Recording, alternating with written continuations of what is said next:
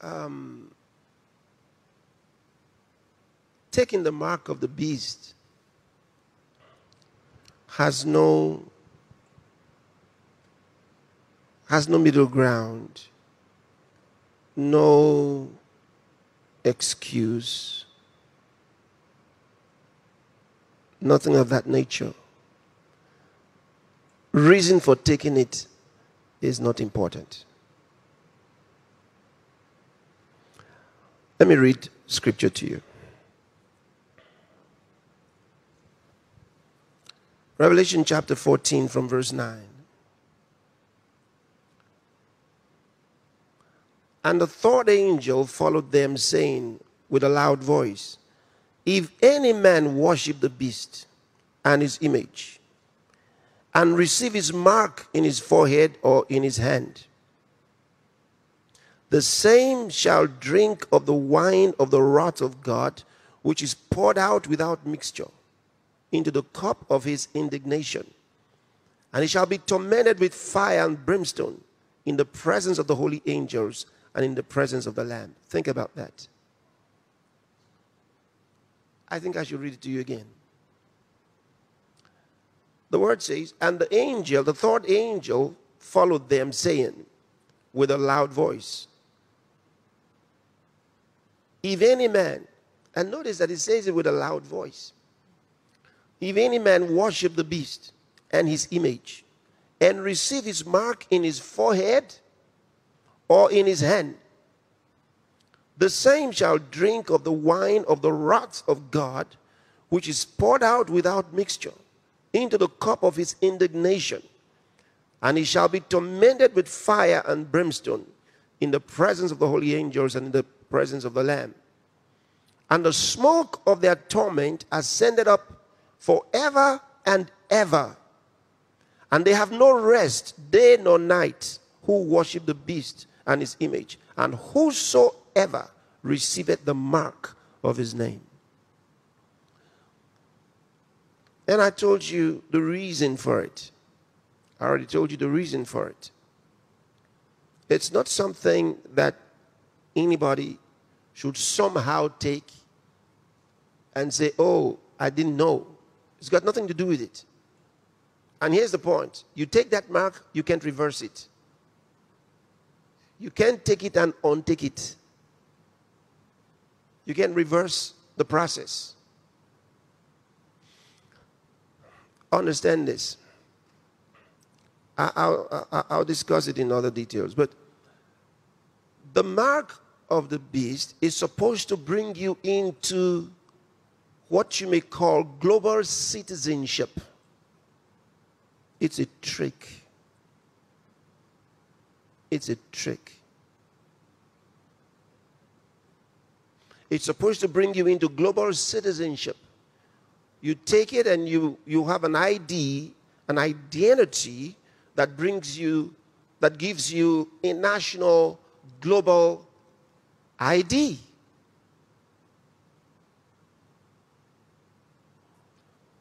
In fact, it takes you away from your local citizenship where you say, Oh, I am from such and such a country. It's supposed to actually give you a global identity.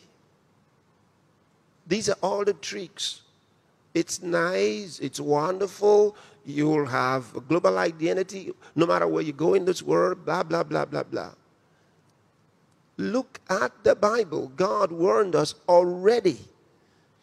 And I did tell you about the coming of the Lord. And I gave you from the scriptures several ways that you can calculate to know what period is the coming of Christ. All right? Now, it is true that some people said maybe 20 years ago that that was when Christ was going to come. Some said maybe 40 years ago. But the fact of the matter is, a lot of people were saying those things not because they studied the scriptures. They didn't study the scriptures. They didn't bring their information from the scriptures. They brought those things from their heads. Because it's very simple. I've, I've shared them with you. I've given you the information. And I said, Do your own calculation, it's all there. This same Bible, and tell me whether you would come up with anything 40 years ago. It's impossible. It's impossible to know the scriptures and come up with such, uh, you know, failed calculations and uh, uh, postulations. The reality is, the church was given 2,000 years from when Jesus walked away from that temple. And I showed it to you from the scriptures. Calculate 2,000 years from that time. And here's an interesting uh, reality. What year was that? Jesus would be going through the scriptures, Jesus would be at that time somewhere around 33 years old. All right?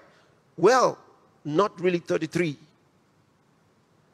In using the Gregorian calendar, he would be somewhere, somewhere, maybe close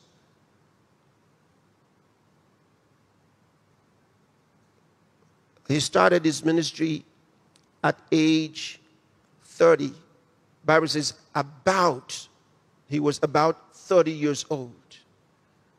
So we may not pinpoint the 30 year age as the zero point because he uses the term about 30 years old. Okay? So if it was about 30 years old, it may be matters of months. Because there's such specific detail in the Bible that um, he would not go so far away. And so, if his ministry was for about three years, then we go again and say about 33 years old. So, there is the area of um, not being sure of the day or the hour. And that's all he said. We don't know the day or the hour in which he comes. But I didn't say that we can't be very close. We can be close. We can even we, we can even be as close to knowing the year. Because he didn't say that year knoweth no man. And here's another thing when was Jesus born? Jesus was born at about 2 AD. Sorry, BC. 2 BC. That means two years before the AD 1. So, and you know when you call the one, you call it one inclusive. So if you, if Jesus were, was born somewhere around 2 BC, some would say 3 BC, some have even said 4 BC. Okay? But it is actually closest to 2 BC because of several other, several other pointers of history. And when you look at the scriptures. Now, here is the interesting thing. That will mean that if you're counting those 2,000 years, you're going to begin from AD uh, 31, thereabouts. From 8031 somewhere. I want you to have that perspective in mind for, for a moment. And then go to the other things that I told you. When you put this aside and you go to when the fig tree when, the, when, when its, its branch is yet tender. He says, You know that summer is near. And I told you he was referring to Israel. And he let us know Israel will have to be a nation. Because he tells us that the Antichrist will sign a treaty with Israel and with many. And that treaty begins the seven year period, which will lead, those will be the last seven years of Daniel's 70 weeks. That's the last week, the one we call the 70th week. The church comes in between the 69th week and the 70th week. And I'm, I, have told you from the scriptures that the period between the 69th week and the 70th week is 2,000 years. Now, let's put that aside and let's head into Israel becoming a nation because it says, This generation shall not pass till all these things be fulfilled. And I said, From the scriptures again, a generation is a hundred years. If a generation is a hundred years, and you do your own calculation, Israel became a state again from 1948. Now, somebody had asked a question about uh, what I said about the different, the different powers, uh, empires that ruled over Israel. And they said, Oh, but Pastor, you didn't talk about the Byzantine and the Ottoman empires. Or what about them? Well, we didn't talk about them because they only came into Jerusalem after the dispersion, which means they were not dealing with the nation of Israel. The nation was already dispersed. So that's why that's why they're not mentioned. All right. So if you do your calculation 100 years from 1948, take that in, and then remember that one includes the seven years because it's the, it's the calendar, it's Israel's calendar, it's God dealing with Israel. So take 1948 in there and Run your 100 years from there and tell me where you get to.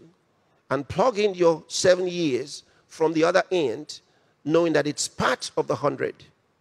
Tell us where, how much you would come to almost exactly the same amount of time left in the first one that I told you of the, the 2000 and this other one of the 100. How can you come in with two things so unrelated and yet you come up with the same figures. Approximately the same figures. Well, the, um, what we're just talking about there is the closeness of the Lord's coming.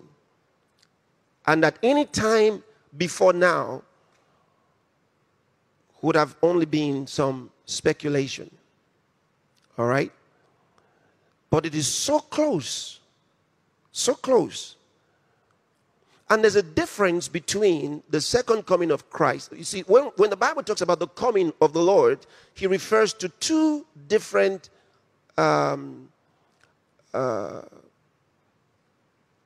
two different advents. Okay? He's talking about what we refer to as coming the coming of the Lord, in which he really doesn't come to the earth, but it is also called the coming of the Lord.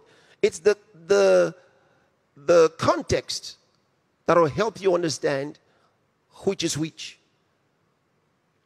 So we say the Lord is coming, but we don't call it the second coming for a reason. He doesn't come to the earth. Instead, we meet him in the air. That's called the rapture of the church. Then is the second one, which we generally refer to as the second advent because it comes to the earth.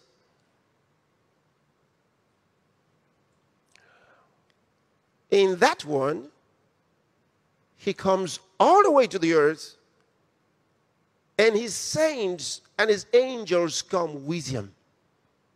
Those who went with him before come back with him. So that's the one that's more appropriately referred to as the second coming of Christ because he actually does arrive to the world, which he doesn't do at the rapture. At the rapture, he comes to the air, he is in the clouds.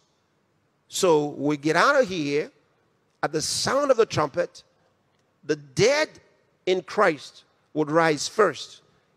And we that are alive and remain here will be caught up together with them to meet the Lord in the clouds. And we go away for all that period when the tribulation is taking place. We are not here. We are not here. We don't face the tribulation. There's a question here as to um, somebody said that. Uh, uh, let me quickly pick it. Uh, Samuel from Ghana, I, I, just I saw your question uh, while I was looking through a moment ago, and you said um, you said in the global prayer day that the church will not pass through the tribulation, but the book of Matthew 24 from verse 21 to 22 and Matthew 24 29 to 31 talks about the elect of God passing through the great tribulation. Can you please throw more light on this? Okay, I'm doing so now, Samuel. Um, the church will not pass through the great tribulation. So you say, so who are the saints or who are the elect of God that will go through the great tribulation? First, let me explain what you mean by the elect. The elect is a term that's applicable to Jesus Christ. He's called my elect. All right? God calls him his elect. You'd see that is applicable to Jewish believers, those who follow him. He's talking about the Jews, all right? Then it's also applicable to God's people in the New Testament. So when you see the term the elect, it depends on what period is being referred to. If it's referring to the period of the tribulation, then the elect there are of two kinds. One, the Jewish elect. That's the Jewish people. Two, you have those who would believe in Jesus Christ during the tribulation. For the Bible tells us that a great multitude, which no man could number, a great multitude came through the great tribulation. Of course they would. I mean, they understand that it's about heaven or hell. So they're ready now because they knew others left. And they don't, they don't want to take a chance. So no matter what you do to them, going to, well, I'll follow